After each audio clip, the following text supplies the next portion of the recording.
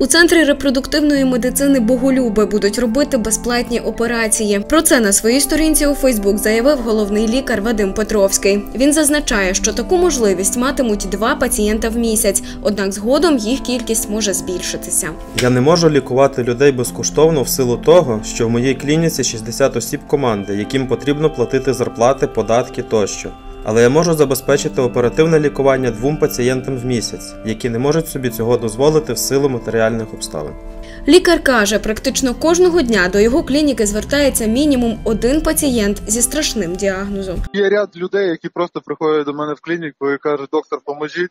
У мене немає грошей. У мене от куча таких було пацієнтів. Вибір це тяжка. От я сам думаю, бо там люди дзвонять, там репостять це все. Ну на жаль, я можу тільки два пацієнта таких зробити. Це небагато, але все-таки хоч якась довина лепта буде. Конкурент. Новини Луцька та Волині. Підпишись, поділись, прокоментуй.